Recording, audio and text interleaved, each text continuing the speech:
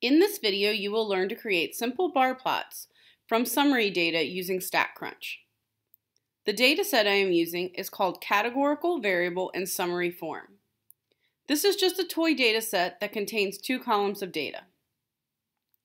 The var1 column contains unique observations of a categorical variable, and the counts column contains the number of times each associated value in the var1 column was observed. So in this case, the value of B was observed four times, and the value of A was observed six times. Let's begin by creating a bar plot with frequency on the y-axis. To do so, under the Graph menu, we'll choose Bar Plot with Summary. Under the Categories In box, we'll choose the VAR1 column and the counts inbox, we'll choose the counts column. We'll click compute. The resulting bar plot shown indicates a frequency of 6 for the value of A and a frequency of 4 for the value of B. Now let's adjust our bar plot to show relative frequency or percent on the y-axis. To do so, under Options, choose Edit.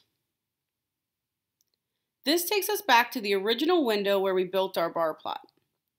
In this window, StatCrunch has other options for the user to customize their bar plot. In the box labeled Type, I'm going to change it from frequency to percent. Now I'll click Compute. The bar plot shows the value of A is 60% and the value of B is 40% now. Notice by default, StatCrunch orders the values on the x-axis in ascending order, or in this case, alphabetical order. To change that, we're going to go back under Options, and in the Order By box, you'll see the different options StatCrunch provides. Value descending reverses our current order. Count ascending and count descending will order the axis by the frequency of the values rather than the values themselves.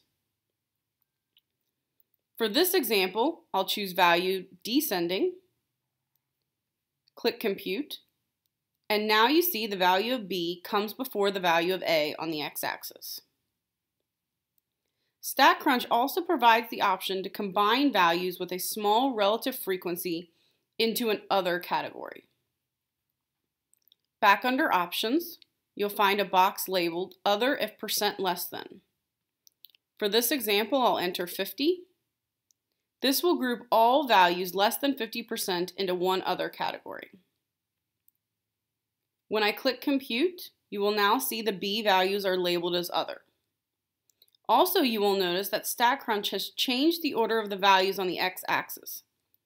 The Other category will always appear last on the x-axis. As you can see, this is really not a great idea for this data set, but it shows how StatCrunch can create this category if it is needed.